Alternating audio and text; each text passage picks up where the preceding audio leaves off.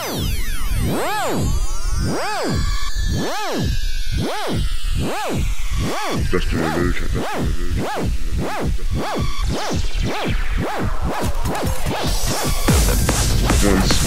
this window number two had been opened by DMT, I could access the telescope.